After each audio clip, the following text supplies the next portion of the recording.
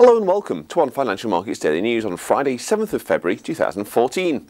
Mario Draghi's reassurances that the Eurozone isn't facing a problem with deflation helped the Euro reach its highest level for a week or so in FX trading yesterday afternoon.